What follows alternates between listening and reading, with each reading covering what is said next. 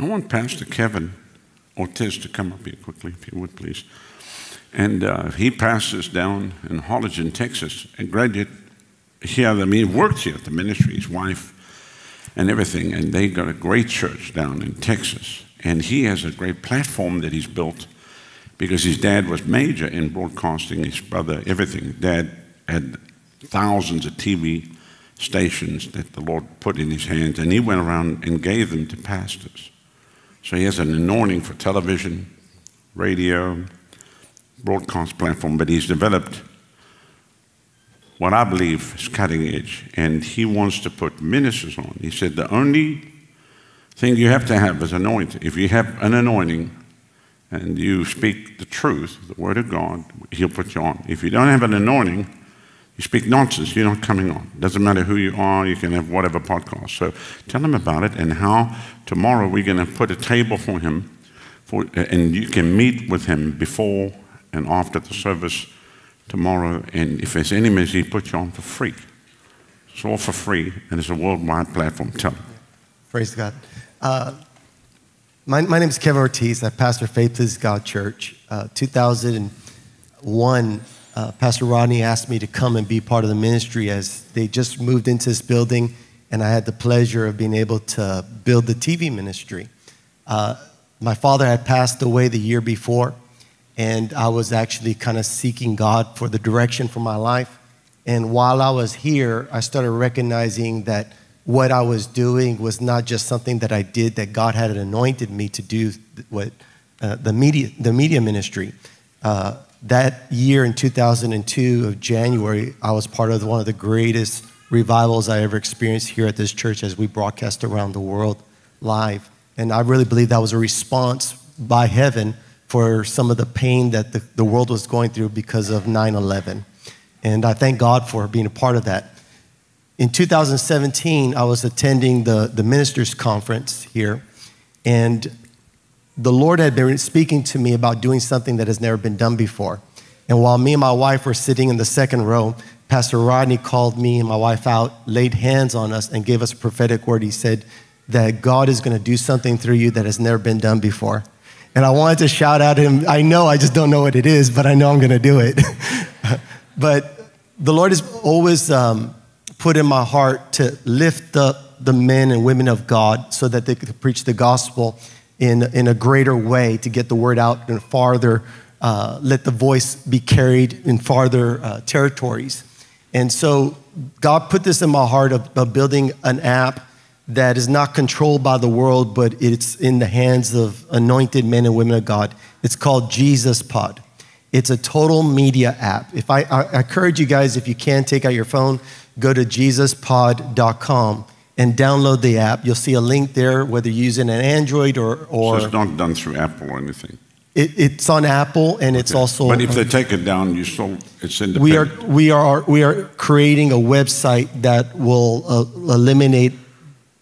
It will only give them the power to shut us down. I understand.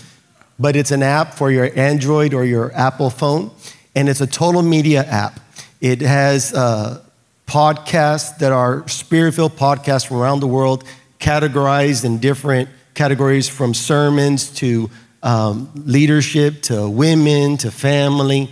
And they're all spirit filled, anointed men and women of God, radio stations from around the world, uh, video from around the world, different ministries all put on there, books, many books, and it's a, an incredible infrastructure. It's all free. It's all free.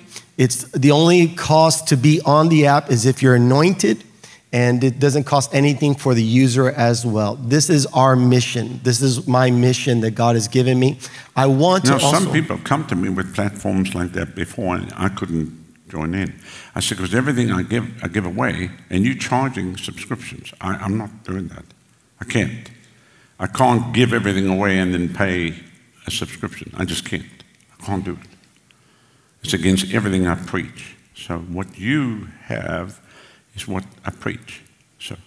And it's actually, a, a lot of this was actually worked out back in 2001 when I came. We would spend a lot of time speaking about the future of the television ministry. And I would always be encouraged by God to, to to speak to Pastor Rodney about the anointing will make a way. The anointing will open up doors. Don't, don't let's not try to pry the doors open because we're wanting to hear the heart of the Lord. And that's just something that God put inside my heart. I believe you're anointed, God will provide one way or the other, and God will make a way. And so Jesus Pod is going to be put in many different languages. Uh, this right now it's, it's in English and it's also we have some programming in Spanish. I'm making a Spanish version of Jesus Pod.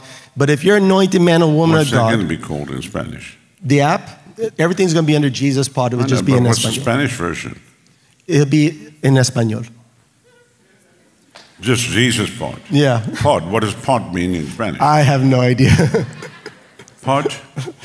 there, there's no translation. It's like wow. It's like translating wow, wow. Praise God. Um, but there's going to be mo- multiple languages.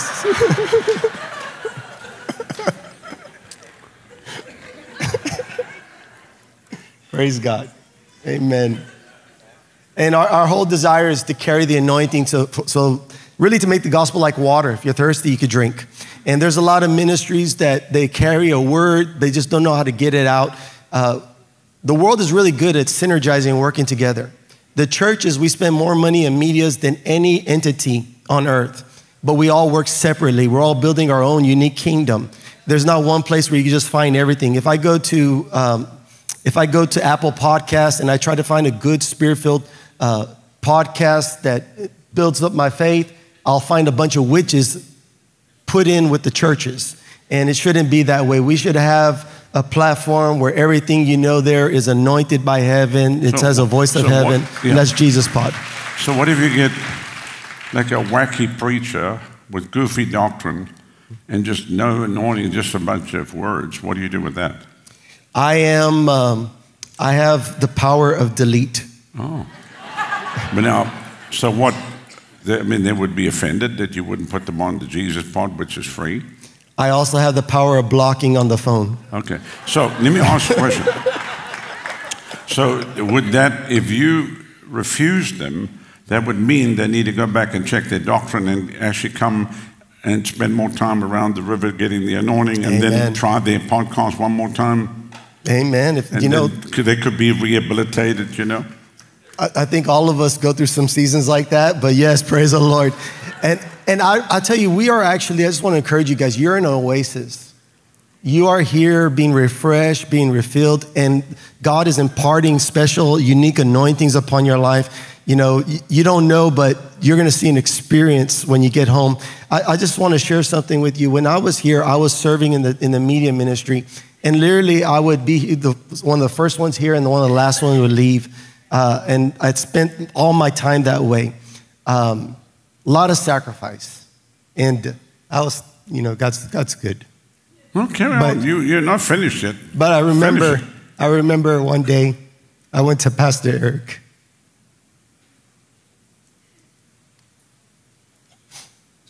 And I said this. I was worried.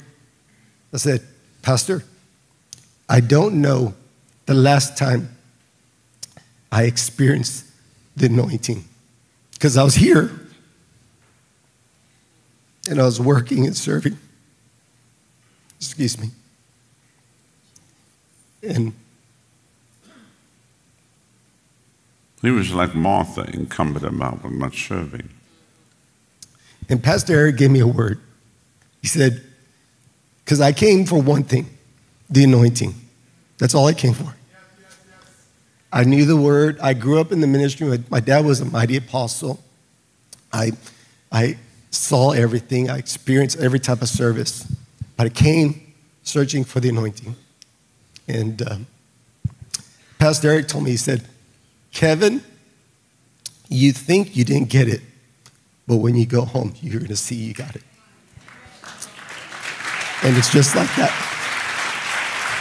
So I give God praise for y'all's lives, this ministry's life, and uh, I thank God for the work of the Lord that He's done in my life. Uh, I'm here I to mean, we basically kept him like a Mexican, Spanish, Puerto Rican slave working around the. He was actually the only person that could do it. There was nobody else. And we started broadcasting live on satellite across Asia to 100 million homes.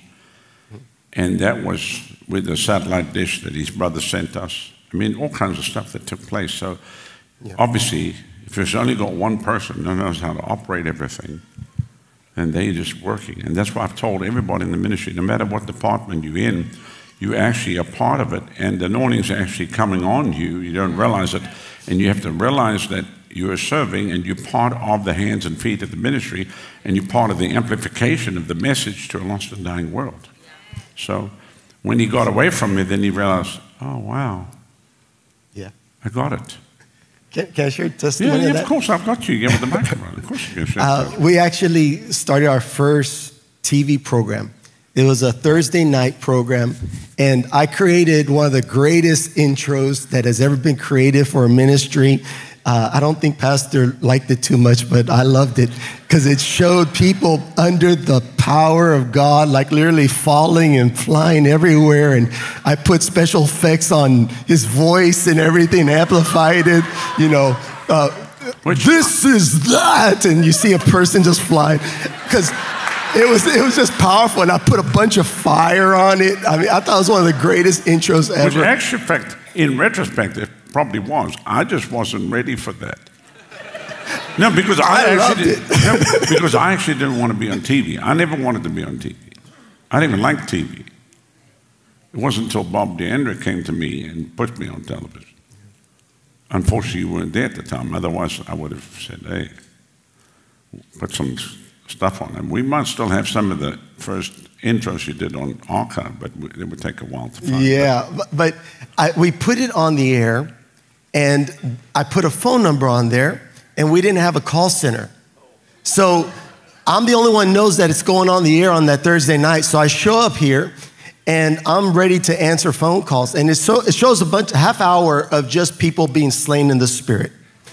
And so the first phone call was a woman. Now, I'm, I grew up in faith, but I didn't grow up in like the supernatural manifestations of the glory of God that we experience so freely here at this church.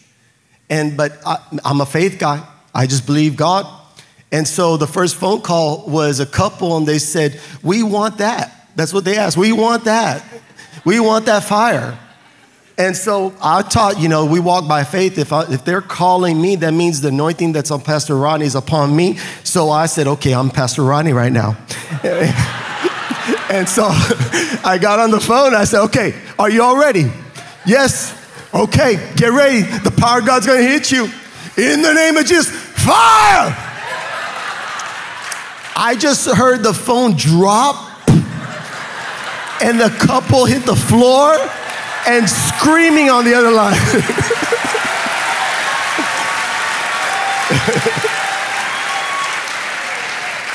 Impartation. So, so, so let me just say this. You know, you, you were, I was preaching a message and you, God was raising you up, but I wasn't ready for what God was raising up.